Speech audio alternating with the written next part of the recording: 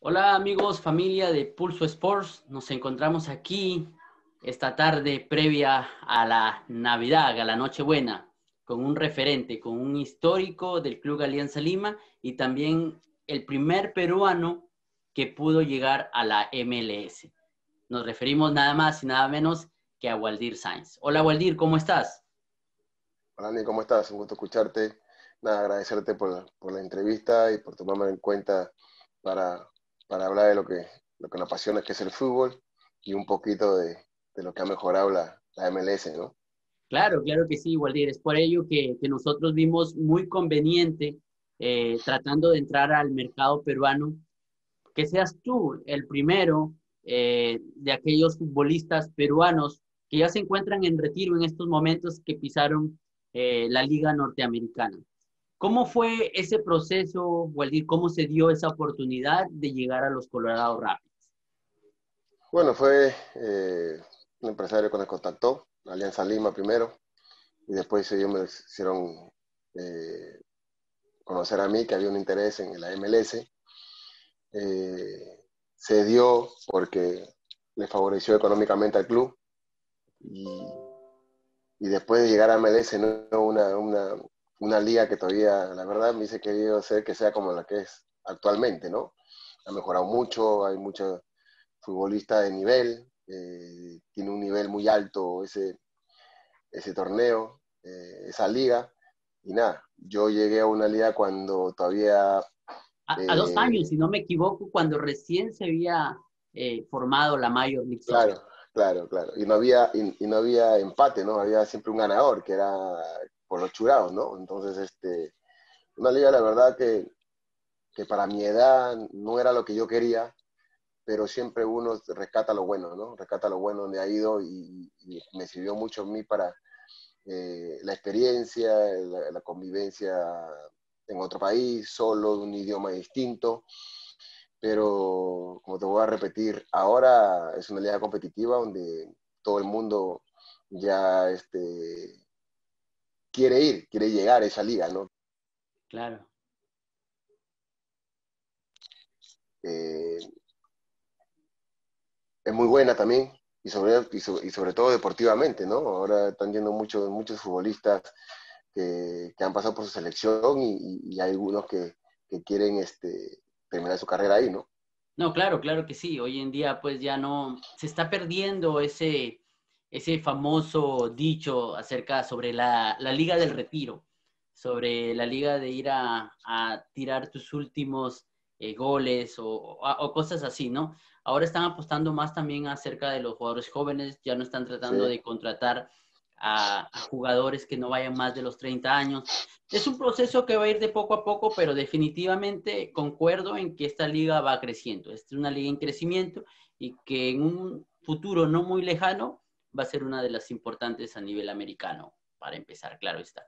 Eh, sobre, sobre esa llegada que, que, dice aquí a los Colorado Rapids, ¿has podido tener algún tipo de contacto con algún directivo hasta el momento? ¿En algún momento ellos han podido contactarte para un tema de marketing o para alguna sugerencia por algún futbolista en Perú?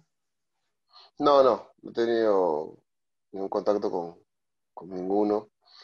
Este, ido a Estados Unidos porque tengo familia, eh, estuve reunido a comienzo de año con, con el Diablo Echeverry con, y con Moreno, que fuimos a jugar un partido de, eh, para una enfermedad, el lupus, este, allá en Washington, ¿no? y varios jugadores que habían militado pues, en, en la liga, en la, en la, MLS. ¿no?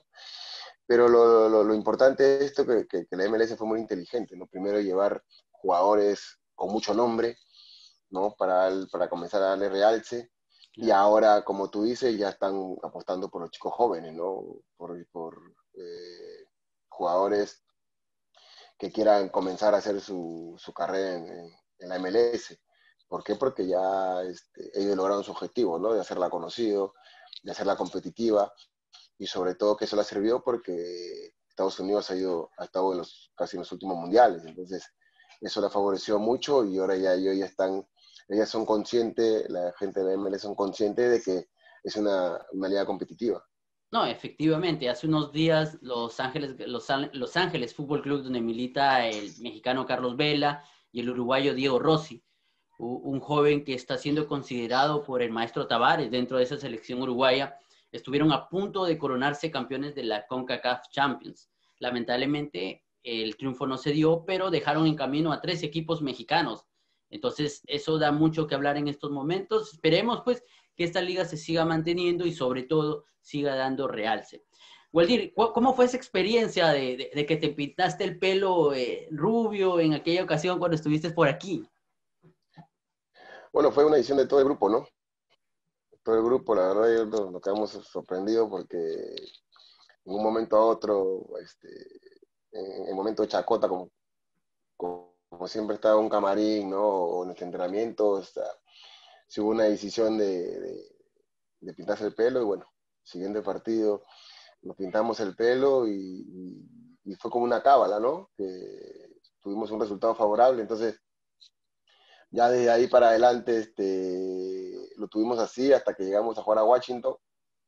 Y ya este, unos familiares, como tengo mucha familia, parte de madre allá en Washington, ya, ya no me veían igual, entonces ya en ese momento decidí por, por cambiarlo al color natural. Al color natural, claro, claro. Waldir, en, en aquella época quizás es un poco difícil poder este, tratar de, de, comparar las situaciones, porque tú mismo lo has dicho al comienzo de esta entrevista, que, ahora es muy distinto todo.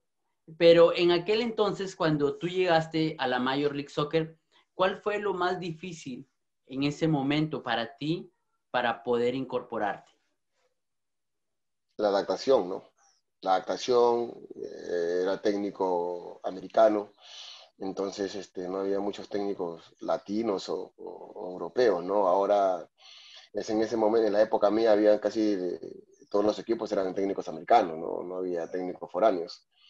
Ahora, como te repetir, ellos este, en esa época era que vayan jugadores eh, muy, muy reconocidos, ¿no?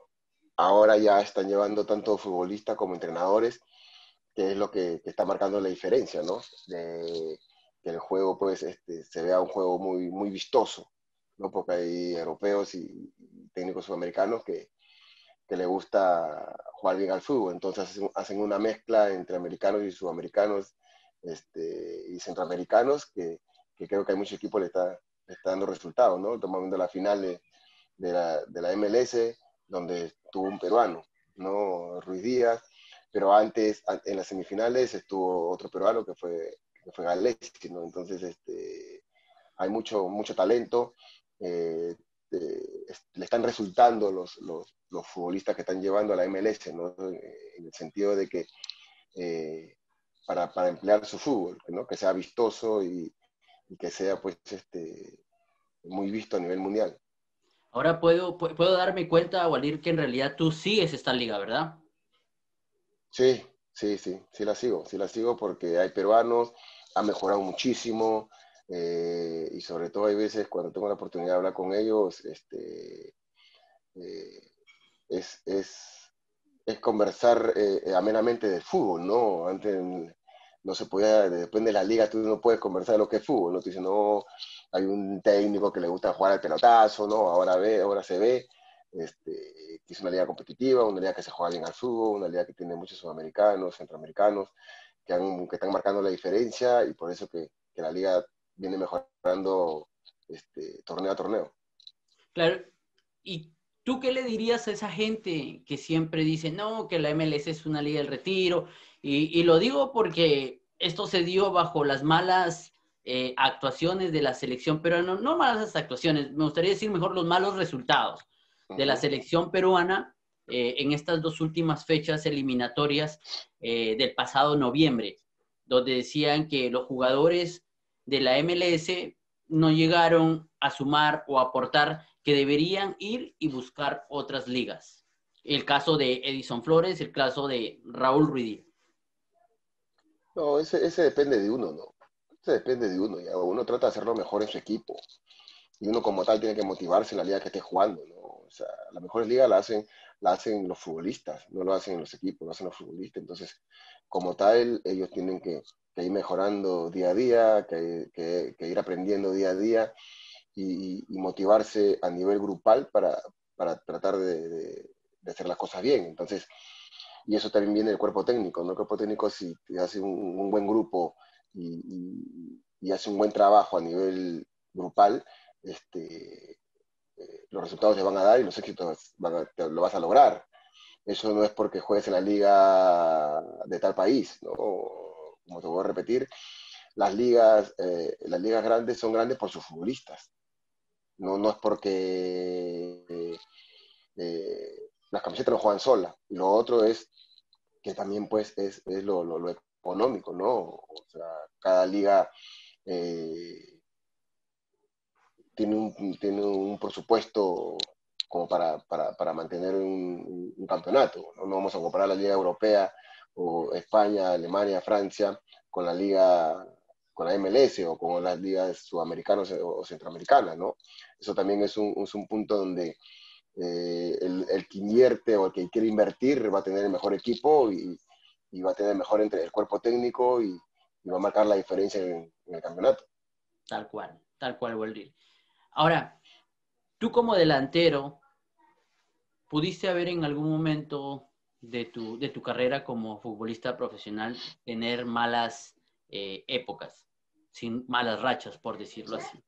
El tema ahora, básicamente hablando por Raúl Ruiz Díaz, ¿cuál tú crees que sería el motivo o razón por la cual la efectividad en la selección no es tan la misma que su equipo. como lo es con Sanders. Exacto. Lo que pasa es que, lo que, pasa es que hay jugadores que, que, tienen que jugar con un referente, ¿no? Y Ruiz Díaz es uno de ellos.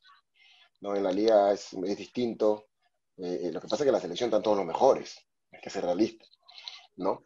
Entonces, este, es muy distinto jugar eh, a nivel de selección y a nivel de club. Entonces, Ruiz Díaz marca la diferencia en su club porque hay jugadores que que lo ayudan, el equipo también lo ayuda, él, trata, él siempre trata de hacer lo mejor por el equipo y eso, eso le favorece.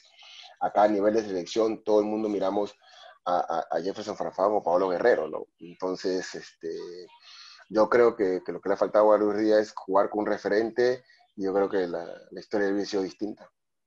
¿En qué sentido tú llamas referente? ¿De que jugara más para Ruiz Díaz? O jugara con un 9, ¿no? O jugara, por un ejemplo, Ruiz Díaz, Pablo Guerrero, o Ruiz Díaz, eh, La Padula, o Ruiz Díaz, Jefferson Farfán, ¿no? ¿Por qué? Porque su biotipo de él no lo ayuda para que sea un, un, un, nueve referente, ¿no? No lo ayuda. Entonces, él tenía que ser un mediapunta o un, o un jugador por fuera. Claro, para, para que pueda tener esa ayuda dentro de la, de, la selección, porque el nivel pues puede ser muy distinto en, el tema de, de Conmebol, de las eliminatorias, ¿no es así? Claro, claro, porque como te voy a repetir, su, su, estatura y su, y su corpulencia no lo ayuda a ser un referente, un nueve referente.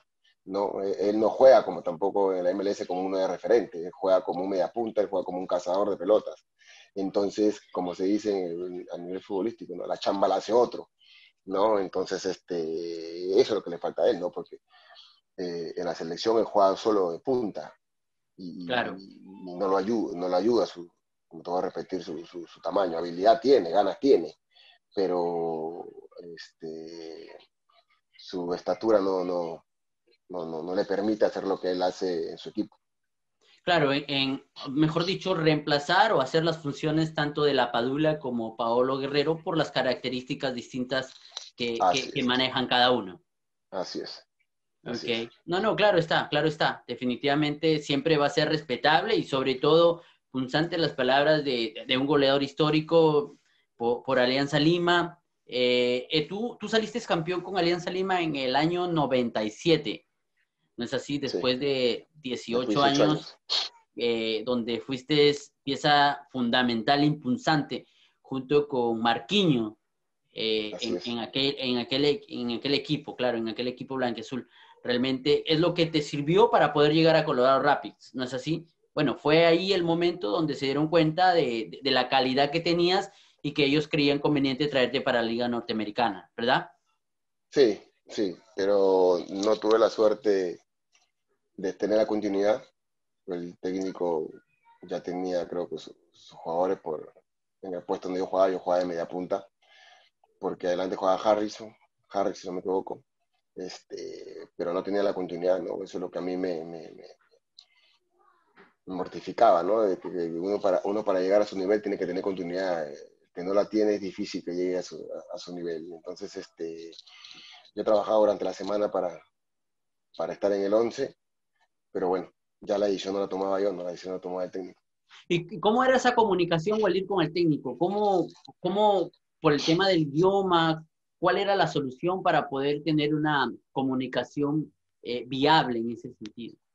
Bueno, el asistente era mexicano, ¿no? Y hablaba español y inglés, entonces yo más tenía comunicación con, con el asistente que con el técnico, ¿no? Entonces, este, pero como te voy a repetir, la decisión la toma el técnico, no, no, no el asistente, ¿no? Claro. Entonces uno trataba de hacerlo mejor, trataba de conversar con, con, con el asistente, ¿no? Decirle o conversar a ver qué es lo que me faltaba, ¿no? Para hacer para entre los 11. Ese, el objetivo mío era quedar muchos, eh, algunos años ahí en, la MLS, ¿no? Este, pero como voy a repetir, eh, no tuve la continuidad y, y opté por, por, regresar a Perú el siguiente año. ¿Qué, en, ese momento donde no tenías la, continuidad que me estás diciendo, ¿hubo algún pasaje donde tú le pudiste, por medio del asistente técnico, decirle al, director técnico eh, qué es lo que está pasando, por qué no me pones eh, como titular? Sí, sí, pero no tenía respuesta, ¿no? Por eso que Marquinho cuando estaba ahí también decidió irse, ¿no? Él sí tomó la decisión de irse, ¿no? Y, supuestamente él, eh, pensaba que era porque por la ciudad, ¿no? Muy frío, ¿no? Entonces este, lo quería mandar a, otro estado y él no quiso, ¿no? Él quiso salir de Estados Unidos. En mi caso no pasó eso, ¿no? En mi caso, la verdad, yo no, no, no, me quejo, yo trato de hacerlo mejor donde estoy, adaptarme a donde estoy. Entonces, este, después que pasó esto, mucha gente me decía, ¿no? Pero ¿por qué no pediste? ¿Por qué no, por qué no te quejaste? Y, digo, no, porque al, quejarse es porque no, te, no tienes la, la convicción de, de, de afrontar eh, o, eh, donde estás. No, uno, eh, el fútbol es de, de posibilidades, ¿no? Y la posibilidad que yo, te, que, yo, te, que yo esperaba para jugar era de hacerlo de la mejor manera y, quedarme en el 11, ¿no? Eso siempre pasaba por, por, mi cabeza, ¿no? Pero como te voy a repetir, ya eso es capaz de mis manos, ¿no? Claro, claro. Pero bueno, eso fue, después de eso creo que fuiste a Argentina, si no es así, ¿verdad? A Santa Fe.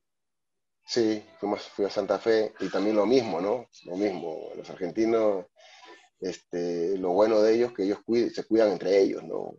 Ellos siempre tratan de que eh, ellos eh, sean los mejores.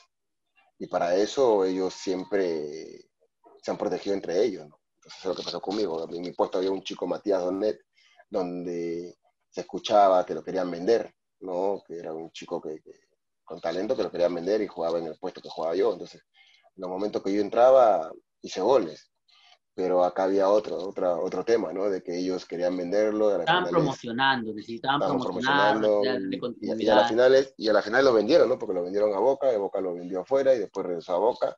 Entonces, este, ellos, eh, el argentino siempre eh, han, han, apostado por, por ellos mismos, ¿no? Que yo creo que, que, es válido, ¿no? Que es válido porque aportar, aportar por, tu, por tus menores, por tus canteras, eso tienen que hacer todos los equipos del mundo. Claro, ahora que, temas, que, tocas el tema de menores, pues eh, hoy en día el fútbol peruano está un poco, no sé si decirlo escaso o, decirlo no bien trabajado, porque talento, en definitiva, nosotros tenemos en el Perú. Pero el problema es que no hay esa infraestructura, eh, material humano, lo tenemos. Yo creo que se le debería dar más oportunidad también a los técnicos nacionales, a, los formadores nacionales, a los scouting nacionales. Yo sé que hablan mucho sobre el tema de que tenemos que ver el scouting internacional, que tenemos que buscar a los chicos de raíces peruanas en otros lados, pero lo cual es válido. Pero Nick, eh, eh, eh, en el tiempo de nosotros no había scouting. O sea, claro. nosotros era, era esto y paciencia nada más. Que lo que tenía Cholo Castillo en mi época para descanse, ¿no? que sacó muchos futbolistas de Alianza. Entonces, este, ya, estamos, ya estamos llevando a la tecnología lo que es la, eh, eh, eh, la visión. No porque al final tú tienes que ir a ver al jugador, no es que te manden un, un video, no es que te manden, o sea, eso, eso, tú sabes que la tecnología puede hacer muchas cosas. Entonces, el Cholo Castillo en su época era tener la paciencia y talento para ver talento. O sea, eso tenía. Y ojo, ¿me entiendes? O sea, entonces él, estaba de las 7 de la mañana hasta las 6 de la tarde, 7 de la noche, sentado en, la cancha auxiliar de, Alianza, que era una sola cancha, y, y pasaban 2, 300, 400 niños por, en, esas pruebas. Entonces, ahora queremos, ahora quieren, los actuales quieren que le llegue el talento hecho. ¿no? Ellos quieren que llegue el talento. No, tienes que ir a buscarlo, tienes que prepararlo, tienes que, tienes que, que, que, como se dice, cuando te dan un, un, un, oro en, en, piedra, tienes que pulirlo y tienes que, hacer lo que tú quieres y eso, y eso es un proceso. ¿no? Es un proceso. Entonces, y eso es inversión también. Eso no es que, ¿sabes qué? No, este, tráelo y ya, y ya lo traes de provincia, ya, y el chico no tiene familiares en, en, Lima. Y si lo tiene, lo van a, lo van a estar, lo van a hospedar, ¿qué? Uno o dos meses. Y después, Un ratito, claro, y después... Claro, entonces, entonces eh, ahora, estos últimos años se han acostumbrado a que el talento llegue, ¿no? Sí, el talento va a llegar, pero tú tienes que pulirlo, ¿no? Tienes que pulirlo, eh, inculcarle lo que es la institución, inculcarle los valores del futbolista y, después comenzar a, mentalizarlo para que cuando llegue el momento de estar eh, en el primer equipo no le afecte mucho. Darle las facilidades sobre todo, ¿no? Porque un futbolista con todas las facilidades en el, en el sentido, las básicas, puede dar un, buen este, performance dentro de un campo de fuego. Y sobre todo, hay algo con lo que me quedo, inculcarle eh, el tema de los colores del equipo, el amor al sobre todo. El compromiso. El compromiso sobre todo. A la institución, a la camiseta que estás, que, está, que, vas a, que vas a usar. Y después lo otro es de que los chicos de talento no tienen un dinero. Son chicos de barrio, son chicos de, menos recursos. Entonces, si en los equipos cobran 25 soles para una prueba y 20 soles o 25 soles para el examen médico, más el pasaje, un chiquito no tiene, un chico no tiene 50 soles para llegar a, a una prueba. Es difícil. El chico de barrio no tiene, lo máximo que puede tener son 10 soles, y eso es, porque se lo puede dar un tío, se lo puede dar un amigo, pero 50 soles no te lo va a dar. Entonces, entonces si no pueden llegar, bueno, vamos a verlos, ¿no? vamos a meternos a, los campeonatos de barrio, vamos a meternos a los campeonatos interescolares, vamos a meternos a los campeonatos, eh, no sé, que hay, ¿no? Y ahí lo ves. Entonces de ahí sacas tus conclusiones, claro es que eso cuesta, ¿no? eso cuesta y, nadie quiere, y nadie quiere invertir ahora, ¿no? Lamentablemente no, no, no quieren invertir en, en, el valor humano sobre, sobre las cualidades que tienen muchos pero después, pero cuando viene un chico y tiene talento, los empresarios están a la orden del día, le firman el contrato, ellos no saben si ese chico este, desayunó, almorzó, cenó, durmió bien, pero ya quiere que le firme, e, ellos no saben el chico cuando vino a, a cómo todo lo que le costó para ir a, a, probarse al equipo que está. y después los dirigentes, si quieren, cuando ellos no saben del niño, quieren cobrarte al papá, le quieren cobrar al, tío, le, no le quieren... Ah, es, un tema, la verdad, es un tema muy triste, muy triste porque, como yo, te puedo decir algo que, que, que, yo he pasado, ¿no? Yo fui feliz, yo fui feliz cuando llegué a Alianza, ¿no? A mí me recibieron con las manos abiertas, yo fui igual a una prueba y, a mí me, apapacharon, como se dicen, este, en el primer día que yo llegué, ¿no? Y, me dieron, eh, me inculcaron, este, me hicieron sentir en casa y, me hicieron que, me comprometa con la institución, ¿no? Y después, ah, y ahí ven los, los resultados después de, ¿no? Entonces yo creo que hay que aprender de eso, ¿no? Que pretende eso, creo que la tecnología sí, la tecnología para, algunas cosas, pero para otras no, ¿no? Claro, claro, en, definitiva, Walid. Ahora, una cosa eh, que, se ha dado una noticia estos últimos días ha sido sobre también el, el regreso sin éxito, ni pena ni gloria, se leía en algunos, en algunos eh, diarios sobre eh, la mala decisión quizás que tuvo Kevin Quevedo en irse al, al Goiás de Brasil eh, por el hecho de no aceptar en su momento una renovación con Alianza Lima para poder eh, obtener una venta a futuro. Es lo que tú decías, los amores al club, quizás el compromiso y... Claro, pero hay veces, también interfieren los, los empresarios, ¿no? Donde quieren ganar más plata que, que el jugador, hay veces. Entonces es como que decir, si tú firmas, este, vas a tener que dejarle algo. Entonces, este, mejor no firmes, llegamos a, que llegue a tal fecha y nos vamos libres, ¿no? Entonces, ya ahí te metes un, un problema muy grande con la institución, porque al final, al final es, eh, haces tu carrera afuera y cuando quieras regresar, vas a tener, te cierras una puerta. O te cierras una puerta o ya es casi una, una negociación que, que, no te va a gustar y indirectamente te andan diciendo, ¿sabes qué? No te queremos, ¿no? Entonces, a veces uno tiene que tener la cabeza clara y, las situaciones eh, claras también como para, para, salir de un club, ¿no? Y sobre todo un grande como Alianza. Claro, porque Kevin Quevedo en realidad tiene todas las cualidades, su momento lo demostró con Alianza Lima, eh, que era un chico que realmente se tenía que potenciar más, pero que tenía las cualidades para poder ser un gran jugador y quizás una venta grande en un futuro para un club europeo, desde Alianza Lima, como lo ha sido Jefferson Farfán, como lo fue en su momento este André Carrillo, Claro. Y, figuras del fútbol peruano, ¿no? Claro, como ha sido el, como ha sido el último, ¿no? Aldair Fuentes, ¿no? Un chico que renovó con Alianza y ahora tiene la suerte de jugar en Europa, ¿no?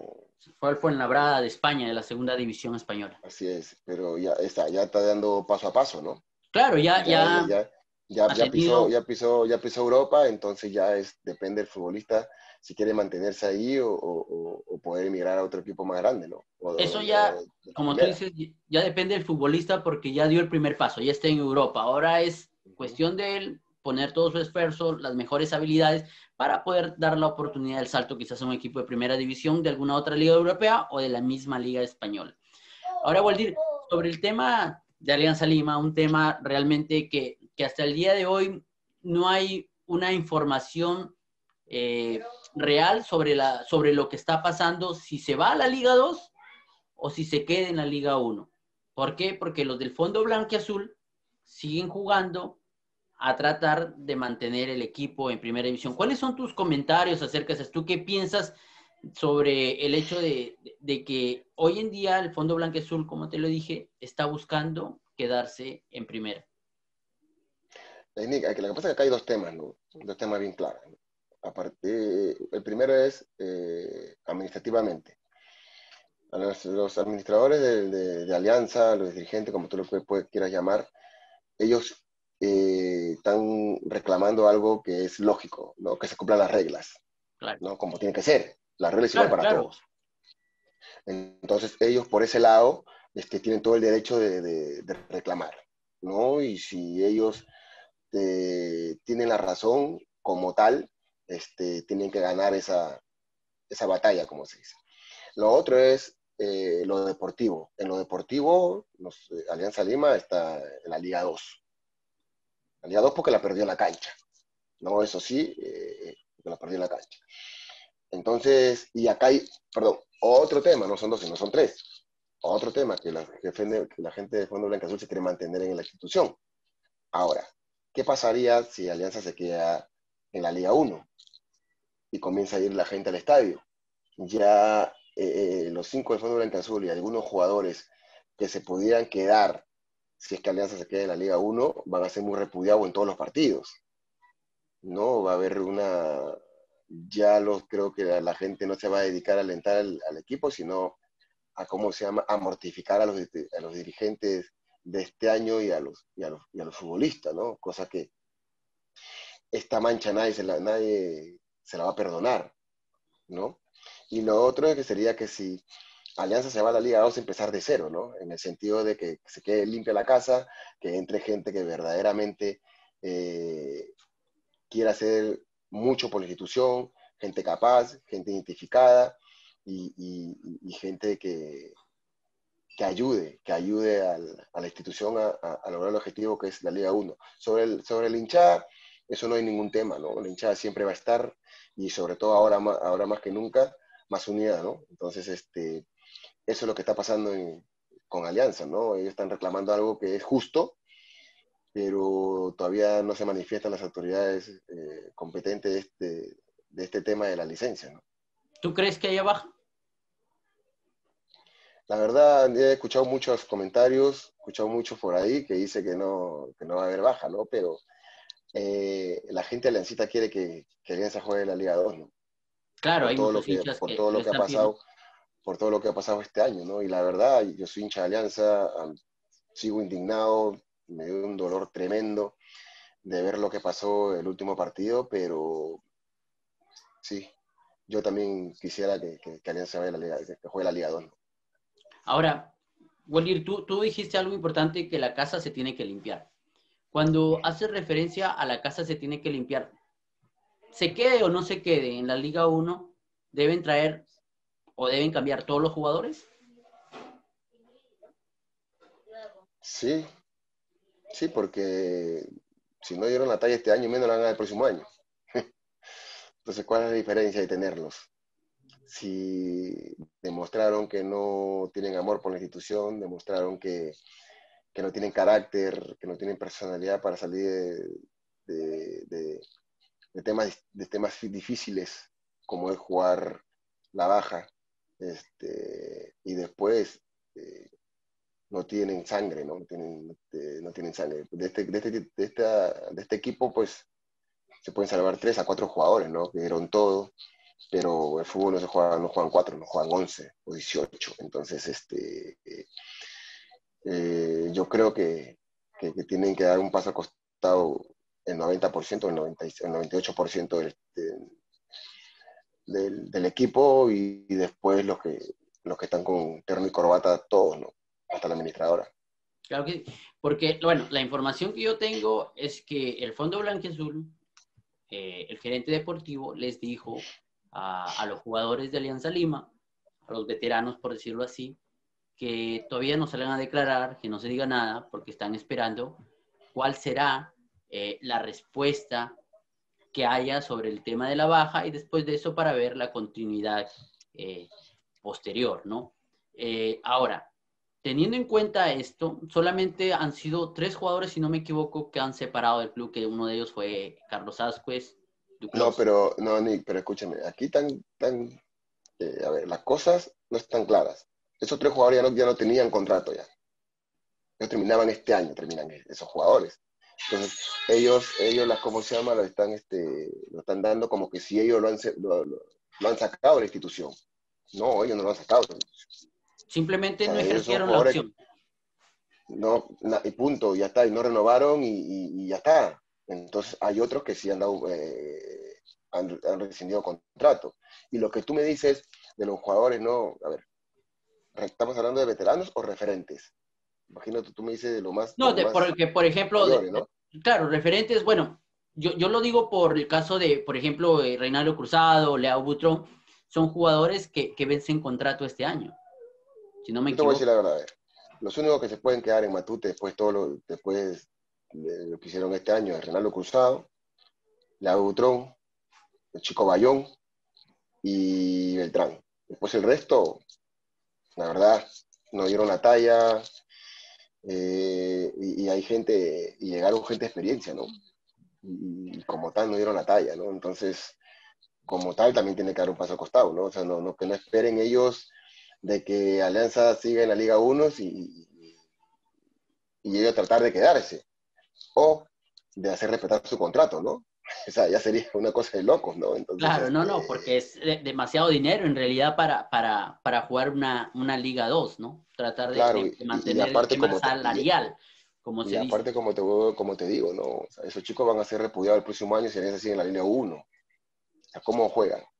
¿Cómo juegas cuando, una, cuando cuatro tribunas están en contra tuyo? O sea, No, no, después claro. lo que hiciste, en, el- ¿me entiendes? O sea, después lo que has, has hecho en 2020, y hay jugadores que tienen contrato dos, tres años y han jugado no sé cuántos partidos y no han tenido ni un pase gol. Estamos hablando del tema de Da Silva, del tema de, de, de- del Mudo Rodríguez. O sea, no creo que ellos tengan lo que ponen las gallinas para quedarse el, próximo año.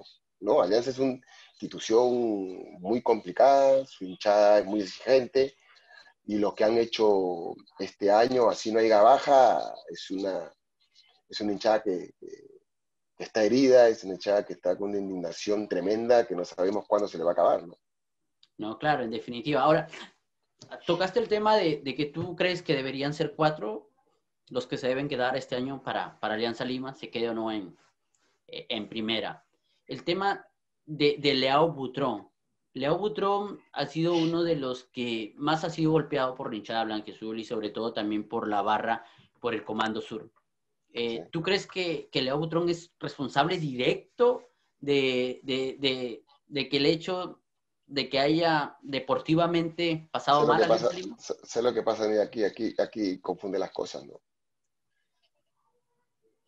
Tú tienes hijos y tú en tu casa, tus hijos los reprendes, ¿no? ¿Por qué? Porque son chicos.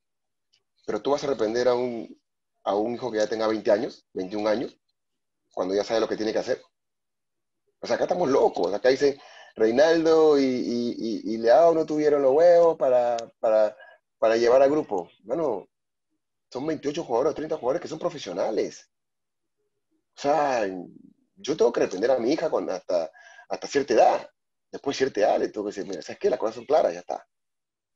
¿Entiendes? Pero, sea, está jugando, aparte que está jugando en alianza. o sea, la motivación es distinta y si no te motiva a jugar con, con, con ese cine en el pecho, entonces no juegues al fútbol. Acá dice Reinaldo, sí. Eh, Leao, sí. Ellos son líderes, toda la vida han sido líderes. Eh, jugadores positivos, jugadores hinchas de alianza. Han matado por alianza toda la vida. Y yo no, yo no me meto en la cabeza de que no entiendo que ellos dicen que ellos eh, que hacen la camita, que ellos esto y el otro. ¿Y tú crees que Leao o Reinaldo Cruzado han querido terminar su carrera así? ¿O tú crees que ellos dos han querido que Alianza pase lo que ha pasado? Es imposible, son, son, los, son los menos indicados de que, de que, de que ellos eh, dicen que querido que Alianza termine así. O sea, hay que ser, hay que ser también un poco, un poco realista en la vida, ¿no? Ellos le dieron mucho Alianza, dieron mucho Alianza. Entonces aquí es la institución, es el, el equipo, no son dos, tres jugadores, cuatro jugadores. Yo te digo esos, esos, cuatro jugadores, los nombres que te he dado, porque yo lo he visto en la cancha, que se eh, el muchacho Bayón, que viene de, otro equipo como Cristal, jugó todos los partidos. Y lo jugó de un, de un puntaje de siete puntos para arriba. Feltrán cuando le tocó, metió. Leao y, y, ¿cómo se llama? Y, y yo lo he tenido de compañeros y piensan ellos eh, sobre Alianza. Entonces, hay, hay a veces que hay, hay, que demorar un poquito en, hablar de, los futbolistas, ¿no? Claro, claro, tal cual. Y como lo dices, tienen que venir los que quieren llegar.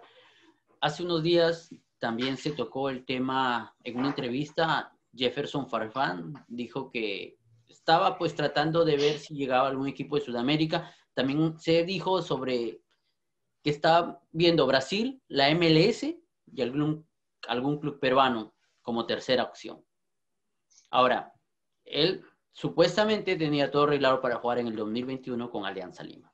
Así es. Incluso tú lo dijiste en una entrevista. Eso es lo que había, eso, eso, eso los rumores que había, no, no había nada claro tampoco. No, o sea, porque hubo una foto con uno del fondo, entonces era la especulación, ¿no? Pero de él no salió una foto junto con Richard Acuña hace unos días, que incluso este, yo lo tomé como si ya estuviera también este, tratando de, de, de, incorporar a Richard Acuña, a Jefferson Farfán, pero al final salieron... No, pero Richard Acuña, Richard, Richard, Acuña son, eh, con Jefferson son amigos porque ellos han estado en, en, Trujillo, ¿no? O sea, cuando fuimos a jugar el día del hincha Blanqueazul en Trujillo, este, parece que, que, Jefferson ha estado en la, en la, casa de ellos, ¿no? Eso no viene ningún, no hay ninguna posibilidad, ¿no? Aparte de que, que, como te voy a repetir, como tú mismo lo has dicho, Jefferson quiere jugar eh, cerca de su familia, ¿no? Y lo otro es que lo hace porque si Alianza se queda en la Liga 2, eh, la Liga 2 empieza en marzo, junio, ¿no? Y él, y él necesita estar desde febrero hacia, hacer una pretemporada porque la selección lo necesita. En marzo para las eliminatorias que se vienen, para la quinta y sexta. Así es. Entonces, para ti sería normal, por decirlo así, si Jefferson Farfán no llega, si llega al Perú a jugar por algún equipo de primera y no por Alianza Lima. no creo que, que, que Jefferson Farfán juegue por un equipo en el fútbol peruano que no sea Alianza. No creo. Bueno, tú lo conoces y, y sabes que, que, que, no va a ser así. Claro, por lo que él dice, por lo que conversamos, por lo que él siempre manifiesta en sus redes sociales, ¿no? Esperemos, esperemos. A nosotros nos gustaría tenerlos a, tenerlo aquí en la MLS porque es una es, es, un, es un jugador sí. que, que, sí, que, yo creo que te va a explotar mucho porque el fútbol de aquí es muy rápido en realidad. Es mucho. Lo es que pasa es que eh, yo lo escuché eso el 2015 cuando Klinsmann, el técnico de la selección de Estados Unidos, el, claro, alemán, ya habló con él, porque yo después fui al, al hotel y habló con él que, que, cuando él decidiera venir a la MLS tenía las puertas abiertas, ¿no? Entonces, yo creo que ese va a ser su, su, su, su paradero. Su, su, penúltimo paradero, ¿no? Claro. Porque el último, el último va a ser Alianza. Claro.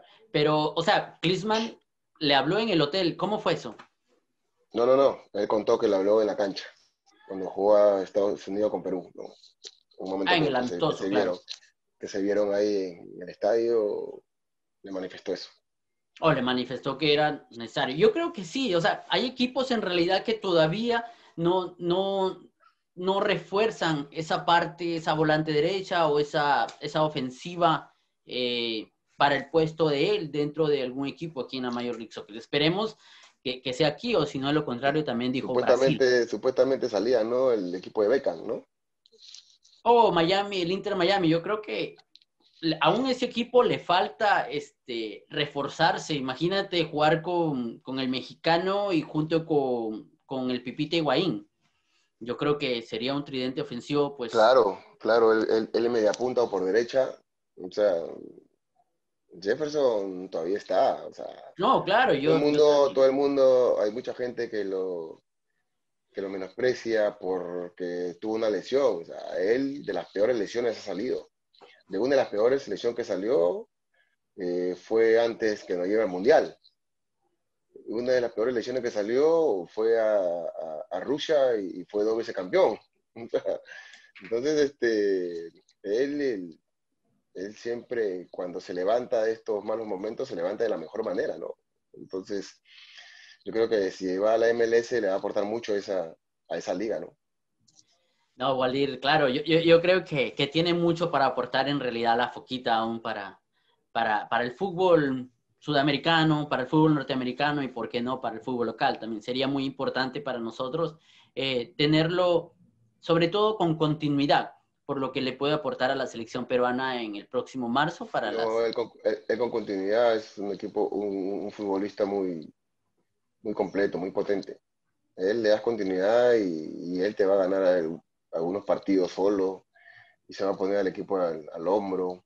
Tiene mucha, mucha personalidad para eso, sobre todo. Waldir, ya como para ir terminando y agradecerte por tu tiempo, ¿nos, nos podrías regalar cuál es tu once de Alianza Lima, el histórico? ¿Cuál sería tu once histórico? me, metes, me metes en un problema, te lo juro, y, y, y, todos los que me hacen esa pregunta me meten en un, en un problema porque hay, bueno, para empezar, en el 11 no estoy. La cosa digo todo. ¿Por qué? Porque, ¿Por qué? porque, el, porque el 9 es Pericoleón. No, entiendo. El 9, el 9, el 9 es Pericoleón. Bueno, a, no lo podemos poner a, a, a, Paolo porque Paolo no jugó profesional, ¿no? Claro, por Alianza. Hablamos de, de básicamente Entonces, de los jugadores que pudieron pasar por Alianza Lima. Así es. Entonces está Jefferson, Claudio, ¿no? Está César Cueto, está Teofilo Cubías, está José Velázquez, está Jairo Legario, está Jaime Duarte por derecha, más sombrío, está Wilmer. Valencia, está Marco Valencia, está Carlos Guido, está Mágico González. Entonces, en arqueros hay Caico González Ganosa, está Leo Butrón, está Viejo Roberano, está Pancho Pizarro. La verdad, yo sería muy egoísta darte un once, ¿no? De darte un 11 que se quedarían muchos, muchos afuera, ¿no? Mira, Lucina, que en el, en, los 100, en, la, en, el libro de 100 años de Alianza Lima, por puesto hay tres. o sea, ahorita por puesto hay tres, estamos hablando hace de los 100, de vamos a llegar a 120. vamos a llegar al 2020, entonces ya no serían tres por puesto, serían cuatro o cinco por puesto, ¿no? Por todo lo que han hecho, porque lo, por último, Leao ahora ya se metió a la historia de Alianza, ¿no? Rinaldo se metió a la historia de Alianza, ¿no? No, en definitiva, tienes, tienes toda la razón. Ahora, ya la última, para ir terminando, Waldir, sobre el tema de, Claudio Pizarro, ¿a ti te hubiese gustado verlo retirarse en Alianza Lima? Sí, sí, pero eh, Claudio Pizarro tiene familia, ¿no? Y la verdad, el Perú está muy complicado, ¿no? Por todo lo que pasa, ¿no? Entonces yo creo que él, por ese tema, creo que él... Priorizó. Priorizó a la familia y de, para venir a, a, Perú, ¿no? La verdad que yo también hubiese, hubiese pensado lo mismo, ¿no? Pensado lo mismo porque lamentablemente acá en Perú las cosas no están yendo bien en todos los ámbitos, entonces siempre hay un temor. No, claro, en definitiva. ¿Él habló contigo en algún momento? ¿Le pudiste preguntar directamente, Claudio, ¿vendrás a Alianza Lima? Claro, cuando el, en el 2015, en, mi partido de despedida, ¿no? Y él estaba convencido, pero bueno, eso fue el 2015, pasaron cinco años y la situación ya es, ya, ya es distinta, ¿no? Entonces, eh, pero sí, sí, me, me, hubiese gustado que esté, o sea, seis meses jugando por Alianza y, y se vaya con un título en la mano, ¿no? Claro, hoy como embajador del Bayern de Múnich esperamos pues de alguna manera que en algún momento eh, pueda darle la oportunidad o abrirle las puertas algún peruano para que... Pero, pero a ver, Nick, nosotros, nosotros tenemos que hacer eso. Nosotros sabemos que tenemos un embajador en Europa. Entonces nosotros tenemos que comenzar a hacer a los chicos. Claro, Y, después, y después es una comunicación con él, ¿no? Pero cuando ya tú tienes el diamante, el diamante hecho, ¿no? Mentalmente, eh, técnicamente, físicamente. Entonces decir, bueno, ya, aquí nosotros tenemos a tres. Entonces, de ahí para adelante, eh, contacta la conversación con Claudio. Y Claudio ya se encarga, ¿no? De lo otro, ¿no? Pero si no lo tienes, este, si todavía no lo tienes, es difícil, ¿no? Decir, claro, porque yo no creo que Claudio Pizarro se negaría de alguna manera a poder ayudar. No, no hay forma. No hay forma. No hay forma, no creo, no creo. Aparte, para él, o sea, para él también sería beneficioso, ¿no? De, de, de, de, de estar monitoreando a, a, jugadores peruanos en Europa, ¿no? Que es lo que, que, es lo que queremos nosotros, ¿no? De que este, le vaya bien y, y, que él esté pendiente de ellos, ¿no? no, en realidad, no, en realidad tienes toda la razón, aunque, aunque a veces aquí, bueno, en el Perú somos un poco injustos, ¿no? Eh, por el hecho cómo le dan a Claudio con palo, eh, siendo uno de los mejores extranjeros de los últimos años en el fútbol. Pero ni, yo te, voy, yo, te, yo, te voy, yo te voy a decir la cosa clara. Hablan de Claudio como tú dices porque hay unos quieren pantalla, a otros quieren claro, hablar de Claudio, entonces ya voy a tener prensa. Y los otros que nunca jugaron fútbol. O sea, hay una mayoría que nunca jugaron fútbol que dice Claudio Bizarro no hizo nada de la selección. ¿no? Lamentable que en este, lamentable en este país eh, eh, la influencia de la gente este, a veces determinan a los, técnicos, ¿no? Pero, porque para mí, eh, Ricardo Vareca, eh, ¿cómo te puedo decir? Cometió un error tremendo en no llevarlo al Mundial, ¿no? Un error tremendo en no llevarlo al Mundial. O sea, lo que le faltaba a Claudio, ¿no? Pero a veces la gente también se mete en cosas que no, que no le compete y lamentablemente pues ahí toman decisiones equivocadas. Yo creo que, fue un error también porque yo creo que también Claudio estaba convencido que iba a ir al Mundial. Claro. Porque él se fue a Polonia, estuvo haciendo los esfuerzos máximos, se le veía las ganas, incluso hizo declaraciones esperando de que pudiera ser convocado para, para el Mundial de 2018 en Rusia. Sin embargo, no se le dio las circunstancias, pues solamente la sabe Gareca, si era por el tema de no quebrar yo te Voy a decir, yo te voy a decir las circunstancias, el quebrar el grupo, porque yo he tenido a Claudio como compañero y, lo conozco muy bien y no creo que Claudio sea un tipo que te pueda romper el grupo. Lo otro es la, yo creo que la personalidad del técnico, ¿no? Sabiendo que tenía a Claudio Pizarro y que pensaba o creía que, que Claudio iba a ser titular. Entonces, para eso conversa, ¿no? Para eso te vas hasta Europa, para eso eh, conversas mucho con el futbolista, ¿no? Yo, creo, yo, yo, creo que Claudio tampoco no esperaba ser titular. No, yo tampoco creo. por el momento que venía pasando este, Paolo y Jefferson, pero sí tener posibilidades de jugar, ¿no? Claro, de darle minutos. Yo creo que hubiese servido. Ahora, y lo, y lo otro es, tú lo ves en los entrenamientos. Se está para 30, 40, 50, 90. Entonces, eh, yo creo que eh, eso fue por, por la razón que, que Gareca no lo llevó al Mundial, ¿no? Muy bien, Waldir. De verdad ha sido un gustazo eh, enorme poder compartir contigo. Hemos hablado de, de, muchas cosas. Te he traído un rato al pasado, en realidad, para que recuerdes esos, esos tiempos. me, ha llevado, me ha llevado a Estados Unidos, ¿en qué época? claro que sí, Waldir. No, nada, darte las gracias en nombre de la familia de Pulso Sports, eh, estando aquí para, para toda nuestra audiencia en realidad en Perú, tratando de, de, abrir el mercado, como te lo explicaba, y esperando pues que no sea la primera ni la última.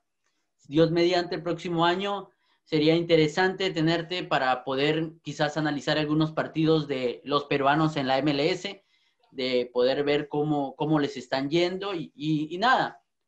Esperamos pues que pases una bonita Navidad junto a la familia y que el próximo año sea un año próspero. Bueno, agradecerte por la entrevista, la verdad, por tenerme en cuenta. Este, eso hace que, creo que uno ha hecho las cosas bien, ¿no? Este, uno siempre trata de, que sea reconocido por, la gente entonces esto ya me está llevando pues a que cuando estuve ahí en Estados Unidos y, cuando estuve en un campo de, fútbol, uno eh, ha hecho las cosas bien, ha respetado.